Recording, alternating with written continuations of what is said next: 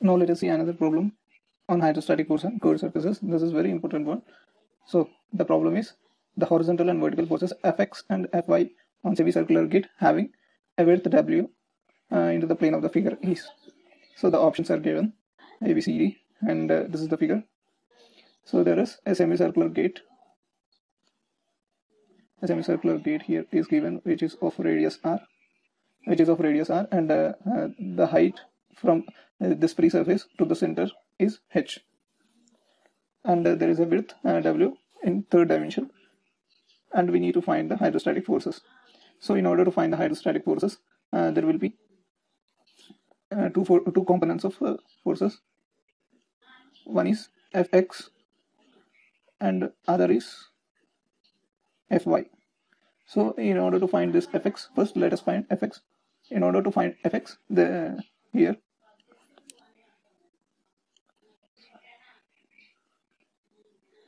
so this is fx.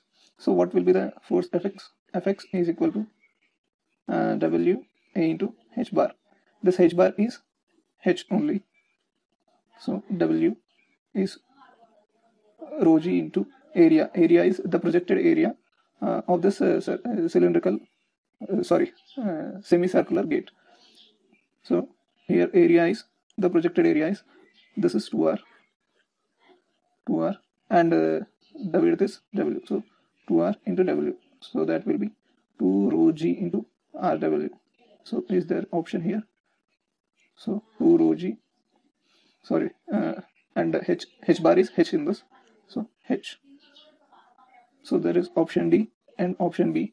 Both uh, both are having same fx and uh, in order to find fy so how to find fy so the hydrostatic force will be acting up to here as fy or uh, let me say here it is fv1 and the weight will be acting downwards w. If you consider the uh, upward uh, upward section in this uh, that will be uh, this one. And uh, first let us solve this. Fv1 is equal to w a h bar. And here h bar is the plane of projection. So uh, w is rho g and area into this h bar is uh, h minus r. H minus r is this distance. This one is h minus r. And rho g into h minus r into the area. The area here is r into w the projected area. Here this will be the projected area.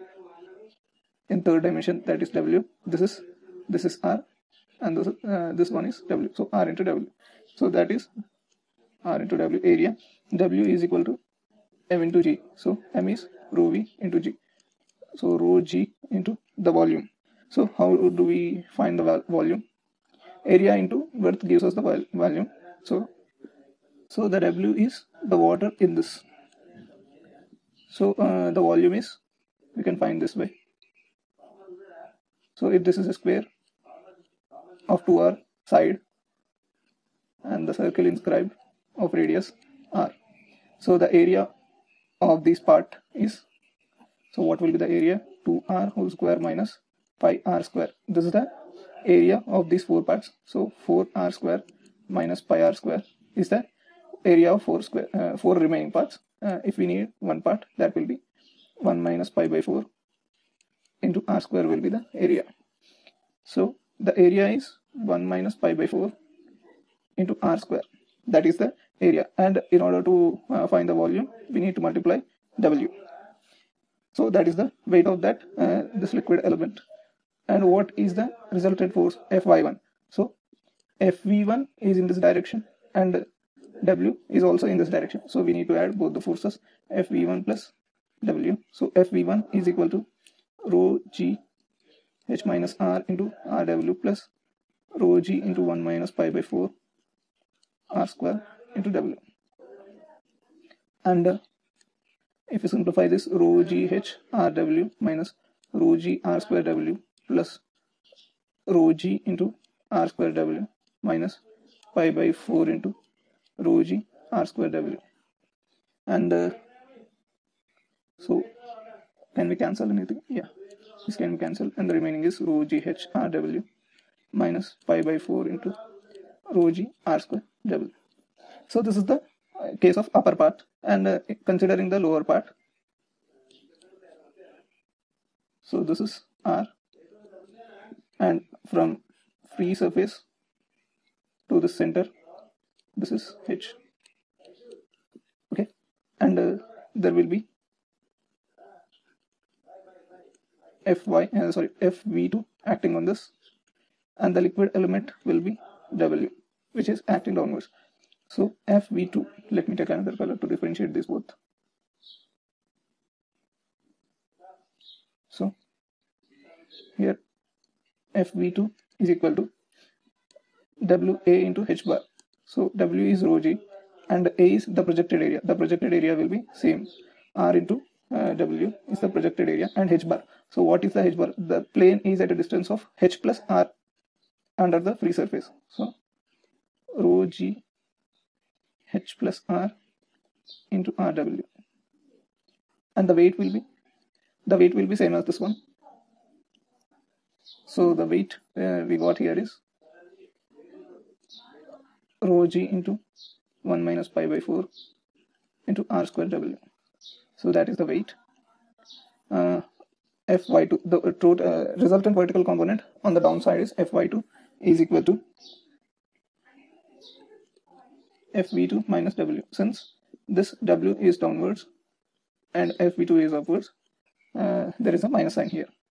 So Fv2 is equal to rho g into h plus r into rw minus rho g into 1 minus pi by 4 into r square w. So we'll be getting, if we simplify this, rho g into h into rw plus rho g r square w minus rho g r square w minus into minus plus pi by 4 rho g r square w. So here uh, we can cancel this and this. So we got fy1 and fy2. So Fy1 will be acting in this direction, Fy2 will be acting in this direction. And uh, we know that as we go deep into this, uh, we will be getting more pressure. So Fy2 will be greater than Fy1. So the resultant force will be Fy is equal to Fy2 minus Fy1. So what is Fy2? Rho g h r w plus pi by 4 into rho g r square w. This is the width, not a weight. So minus Fy1. Fy1 is rho g Rw. Rho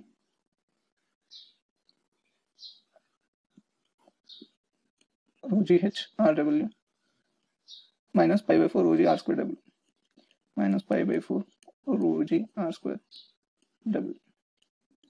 So rho g h R W plus pi by 4 into rho g R square W minus rho g h R W minus into minus plus pi by 4 rho g r square w. So this and this gets cancelled and uh, these are the same quantities. So 2 into pi by 4 into rho g r square w. So pi by 2 into rho g r square w. So this is fy. So pi by 2 into rho g r square w is the fy.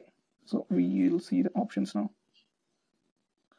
So here uh, the right answer may be uh, option B and D, B or D. So here uh, Fy is 0, so this is not the answer and this is the answer. So solve more problems on curved surface uh, hydrostatic force. You will uh, be master of this hydrostatic force.